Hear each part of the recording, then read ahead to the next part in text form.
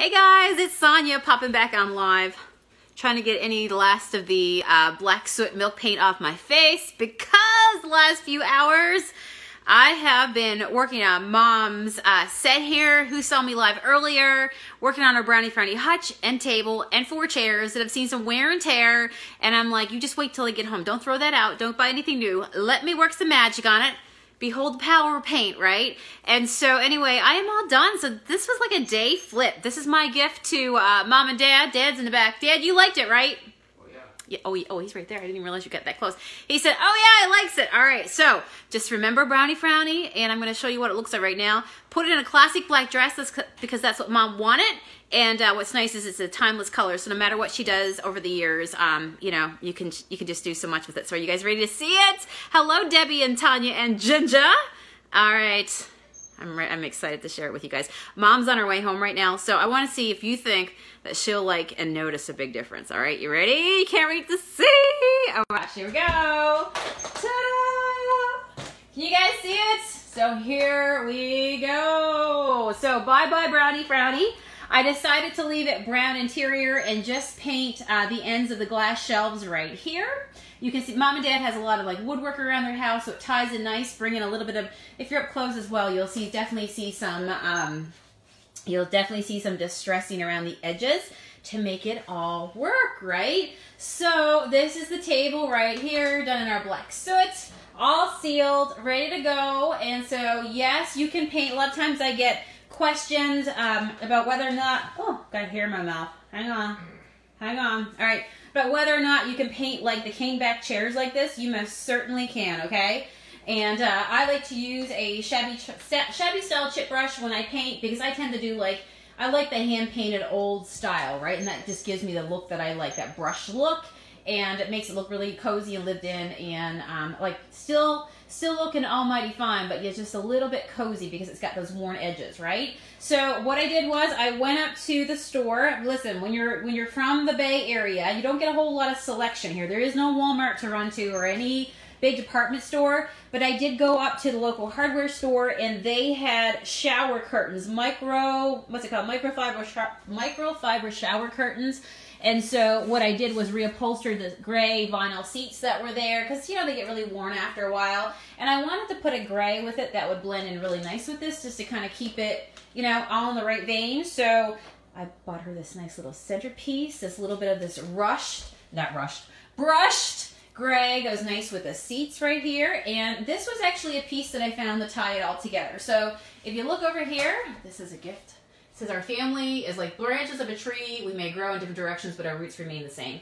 And so she has her white blinds. You know, she has green in this room right here. The green also matches right here with a little bit of greenery right there. And then uh, this golden matches with like the, the golden pine that's on the walls and so, and then of course you got the big black frame, the classic black frame. So that's actually like when I um, when I think about working in a space, making sure that you have uh, something on your wall like that that ties all the colors together is important, right? Or you know maybe if this was a living space, maybe instead of having the wall decorations to pull it all together, what you do is you put in um, some pillows. So this up here was also a brass gold. So I'm getting ready to put mom's bling bling back on her chandelier, changed it from gold to painted this, got up, dad don't listen, got up on a stool and um, hand painted this as well. So she has all kinds of like bling bling gems that hang off of there. I'm going to put that up there. And that gives it a little bit of like rustic glam, you know, really classy kind of look, right?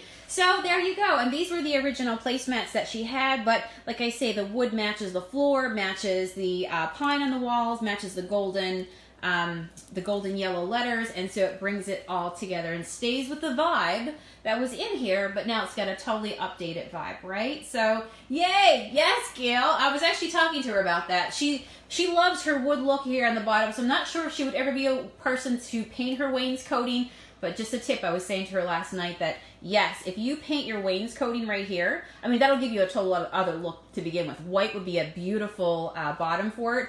But the moment, even if you painted your walls all solid one color, your eye line is not broken up. So therefore, your ceilings will look taller and, um, you know, it won't look blocky right here. But that just depends, you know, on the look that you're going for and you're trying to create. So right now, all this wood wood that's in here just uh, keeps it looking nice and um, cozy. And uh, you know, this is a house after all on the ocean, right? Out on the bay. So we're gonna have supper here tonight. Matt, Matt, what'd you make for supper? Alushki with sausage and cabbage and what else? Noodles and dumplings. And so mom's gonna come in anytime, get to see this space. We're all gonna sit down. My brother's coming over for supper and his uh, family, and we cannot positively wait to go ahead and enjoy it, right? So, uh, yay! So there you go. This is just a quick afternoon flip um, for mom. So, and I'll let you know what she thinks. Okay, I'll let you know what she thinks. All right, so I'm gonna pop off because I think she's actually pulling in now, and I cannot wait for her to see it. Maybe I'll catch it on video and put it up on my my vlog over on YouTube. Tomorrow will be my next vlog. All right. Yes, go back, Jamie, and see what it looked like before. I did a live video probably what four hours ago. I don't know. Right here on my wall because I did this flip like just this afternoon. So just to show you through the power of paint, you don't have to throw it out. You can love what you got. You know? You can put any color you want on it. I could paint this all over again, any color I want as well, right? So it makes it really easy to be able to think about redoing what you have and just giving a new look to it, not having to break the bank and uh, just with a little, bit of paint, you know, how you can just totally change up a space. So anyway, all right, I'll see you guys on here again soon. I'm to see what she thinks. Hopefully she likes it. See ya. Bye.